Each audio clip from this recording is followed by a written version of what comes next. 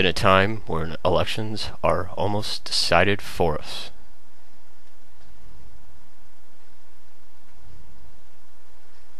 Don't be dragged down by a bad Republican.